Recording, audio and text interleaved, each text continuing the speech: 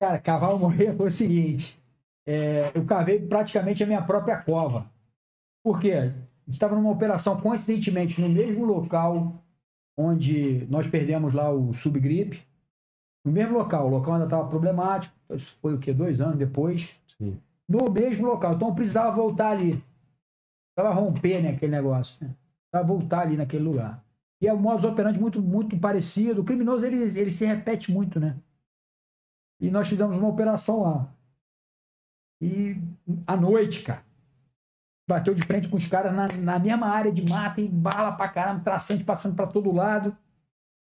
E era ruim, cara, porque assim, confrontos começavam, aquele barulho todo, daqui a pouco cessava. Cara, quando vai começar de novo, E né? o silêncio é pior, né? A, a expectativa da morte é pior do que a morte. É. Entendeu? Morrer não é ruim, não. Nunca morri, mas a expectativa é pior. Irmão, vou morrer agora, vou morrer agora. E começava de novo. E a equipe meio que sumia, né, cara? Assim, no terreno. E eu comecei a ver que os tiros estavam pegando muito perto de, de, de mim. Eu falei, cara, os caras estão me vendo, não é possível. Será que os caras estão com, com OVN, né? Estão me enxergando? Os tiros estão pegando cada vez mais perto. Eu evitava atirar para não denunciar minha posição, dava um ou outro colocado assim. Só que a equipe começou a sumir, cara. Eu falei, pô, cadê esses caras? Os caras começaram a entrar na ravina de chuva, cara. Tem quando chove no barro e começa a criar aquelas ravinas? Aham. Então os caras entravam igual tatudo naquele buraco.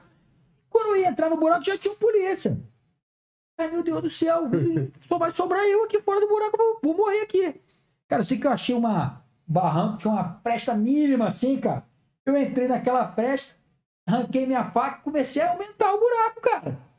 E o tiro pegando perto, o tiro pegando perto, e eu aumentando, aumentando, aumentando. E eu cavei minha própria cavei pra me salvar, cara. Era naquele lugar ali, a minha faca tava mais importante que meu fuzil, porque eu fiquei cavando a, a- a- um- uma fresta no barranco assim, e eu consegui aumentar a fresta e entrei dentro. E fiquei, cara, porque eu, naquele momento ali era a única opção que tinha. Era cavar ou morrer. Então, é, tive que cavar, aumentar o buraco. E ficamos ali. Essa operação. é, essa operação teve uma coisa. Cara, é, a realidade, ela. ela uma coisa é o que está no papel, no processo, né, dentro do, da- do, do sistema jurídico, outra coisa é a realidade, cara. Então, numa dessa, meu maior parceiro que eu fiz na polícia, que foi o melhor operações especiais que eu conheci, que foi o extinto Major Matos. Major Matos, cara, imagina um cara bom em tudo. Imagina aquele cara que tu olha assim, o cara é bom em tudo. O cara é bom de mergulho, o cara é bom de montanha, o cara é bom de tiro, o cara é bom de porrada, o cara é técnico, o cara é amigo, o cara é íntegro. Era esse cara, meu. Eu até digo que ele faleceu porque ele era bom demais pra estar aqui com a gente. E eu era o 14 no curso, ele era o 15. A gente fez o CFO junto, curso de formação de oficiais, a gente era da mesma turma de oficiais. Nós fizemos o COESP junto, curso de operações especiais juntos, eu o 14 ele o 15. E a minha turma ela é a turma dos últimos tempos que tem mais caveiras formados, né? A minha turma é uma turma muito boa, minha turma de oficial. Tem vários formados, os caras top. Só que nesse primeiro curso, vários entraram e só nós dois nos formamos. Outros caras vieram depois, no de Sim. 2010, no de 2000 e tal. E o Matos era um cara assim mesmo. Imagina aquele cara. O cara era de brincar porque ele era um monge. Monge, o cara é calmo. E nessa operação, o camarada, eles entraram numa ravina dessa de chuva. Daqui a pouco eu escutei uma rajada, assim, de, de metralhadora, assim. Eu não sabia que era nossa, era do vagabundo, tudo escuro e tal. Cara, o vagabundo vem andando, caiu em cima deles, cara. E o policial que tava com a metralhadora só teve o reflexo de. Aí eu te digo: vai fazer a perícia desse corpo? É. Foi execução. Tá entendendo? Por isso que o policial é muito importante ele saber apresentar a ocorrência. Porque se você olhar o lado pericial, mais de, sei lá, 10 disparos no corpo, a curta distância. Pô, mas o, o, o vagabundo caiu em cima dos caras. Sim. Né?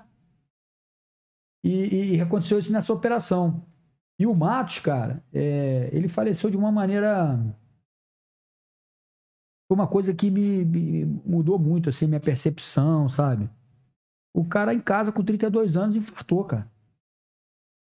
Infartou. A esposa dele tomando banho. Ele com, a, com uma xícara, tomando café, que ele gostava muito de café. Ela escutou a xícara caindo. Quando chegou, o cara tava morto, cara. Moleque, assim, atleta, não bebia, não fumava, da igreja. Aquele cara é reto, né? Aquele cara é reto. Era minha, minha, minha, minha inspiração, assim. Eu falava, pô, eu queria ser igual o, o Matos, né? O cara. E o cara faleceu. Entendeu? Isso para mim foi, também foi uma coisa que me marcou muito. Porque ele era o meu canga, né? Que a gente fala em curso, ele era meu canga. Então nós fizemos curso, fizemos CFO junto, fizemos curso junto. Era armário com armário, ele me rendia no serviço. Depois que, pô, eu entrei no BOP sem um Matos, cara, é, isso, isso foi difícil. Eu até saí logo depois que faleceu, eu fui, aí eu fui pro Cefap, cara, pra escola, precisei sair um pouco, né, de operação. Aí do Cefap eu voltei pra, pra, pro, pro choque, aí fui seu subcomandante no choque, fiquei um ano e pouco. E quando eu saí do choque, eu, é, falei, cara, vou pra onde, cara, vou pra onde? Aí voltei pro BOP. E entrar lá sem ele, cara, foi um negócio muito difícil.